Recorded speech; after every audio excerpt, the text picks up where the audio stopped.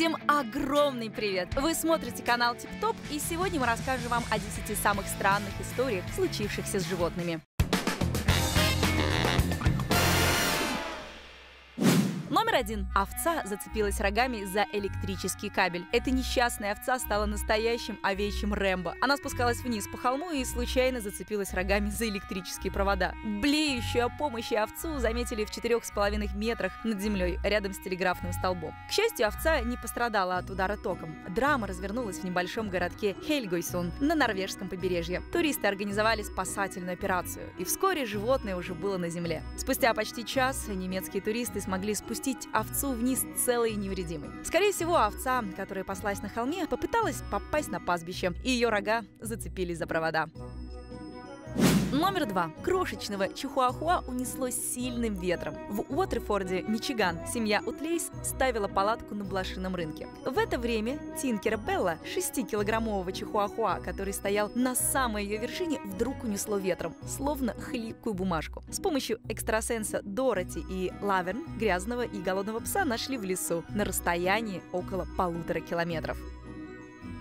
Номер три. Щенок чудом выжил после того, как проглотил 25-сантиметровую игрушку. Давно известно, что щенки жуют и едят все подряд. Но бультерьер Бетти наверняка сожалеет о своей жадности и своем любопытстве после того, как она проглотила 25-сантиметровую пластиковую стрелу, которая была едва ли не больше ее самой. К счастью, стаффордширский бультерьер выжил после перенесенной экстренной операции. Владелица собаки Эмма Уотсон. Нет, это не звезда фильмов про Гарри Поттера. Считает, что щенок проглотил стрелу Лу, когда забежал в игрушечный домик ее семилетней дочери Лили Джей. Сейчас собака идет на поправку, но она, кажется, не усвоила урок и по приезду домой попыталась съесть пульт от телевизора.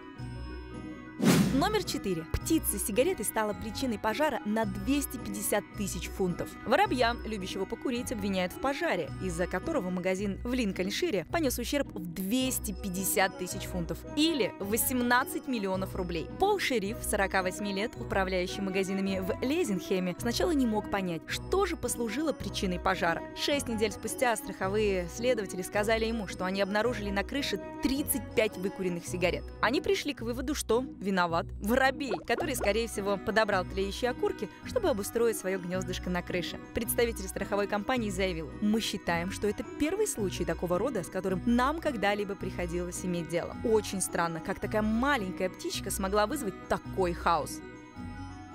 Номер пять. Кот, застрявший внутри металлического ящика, выживал 34 дня, облизывая стены. Черный кот по кличке Сокс чудом выжил, на месяц застряв в ящике для промышленного хранения. Он слизывал конденсат на его стенах. Электрик Мюррей Рукстон нашел 11-месячного котенка внутри ящика и вернул его хозяевам. Сокс жил 35 дней без еды и воды, облизывая конденсат со стенок металлического ящика в Арброте, Ангус. Сокс пропал, и владелица Мишель Махер заявила о его пропаже в благотворительности благотворительный фонд защиты кошек. Мишель расклеила объявление и обыскивала улицы. Непонятно, каким образом Сокс забрался в металлический контейнер. Абсолютно изможденного, исхудавшего и обезвоженного котенка вернули владельцу. Он надеется, что скоро Сокс отправится от своего тяжкого испытания.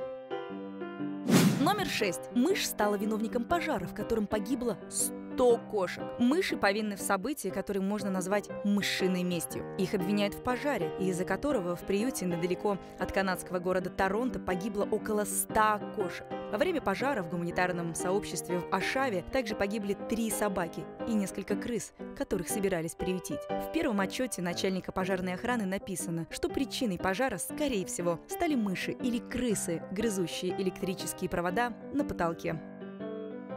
Номер 7. Скунс застрял в банке с арахисовым маслом. Однажды Бигсби Тереза Вик увидела нечто очень необыкновенное. Голова скунса застряла в банке из-под арахисового масла. Я доставляю газету Tulsa World в этом районе. В 5.30 утра я несла газету в общественный центр и случайно наткнулась на скунса с банкой на голове, говорит Тереза Вик. Вероятно, голодный скунс просто искал еду и сунул голову в выброшенную банку. Тереза обзвонила несколько организаций, прежде чем нашла Неда Бруха, дрессировщика скунсов. По словам Неда Бруха, все, что требуется животным, это пища, вода и кров. Скунсы любят арахисовое масло. Эти животные очень изобретательны и готовы съесть любой кусок пищи, который найдут. Нед использовал тряпку с хлороформом, чтобы несколько успокоить скунса, прежде чем стянуть банку с его головы. При этом благодарный скунс даже не сопротивлялся. Казалось, что животное было очень радо, что оно снова свободно. Номер восемь. Свинья проглотила бриллиант из женского обручального кольца стоимостью полторы тысячи фунтов, 100 тысяч рублей. Джинджер, свинья породы кун-кун, зажала во рту драгоценность после того, как Энн Мун положила свою руку на ограду загона в Изингволд, Мейзе, в северном Йоркшире. Когда миссис Мун подняла руку, алмаз пропал. Фермеру Полу Кейгелу, которому принадлежит свинья, была поставлена задача обыскать весь загон Джинджер, чтобы найти драгоценный камень. Мистер Кейгел утверждает, что свиньи не кусаются, и был очень удивлен, что Джинджер схватила кольцо.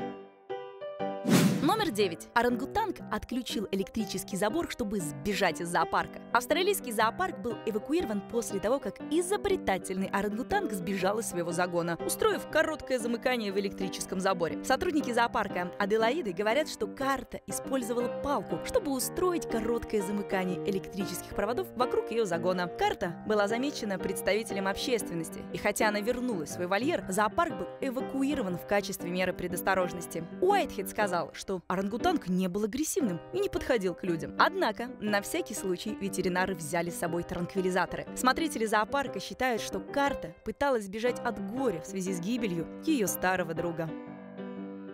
Номер 10. Пропавшая кошка появилась на ТВ-шоу. Кошка, которая исчезла из своего дома в Корнуолле, оказалась живой и невредимой на съемках Question Time. Самец Танго прокрался в холл Тревиглас Комьюнити колледжа в Ньюке, где снималась передача для канала BBC One. Он уснул под столом, где Дэвид Димблби вел политические дискуссии с группой гостей. К сожалению, хотя его владелец и смотрел программу в гостиной, он пропустил дебют своего кота на телевидении. Его дебют, возможно, и был мимолетным, однако появление Танго, скорее всего, войдет в историю как одно из самых запоминающихся событий, произошедших во время шоу.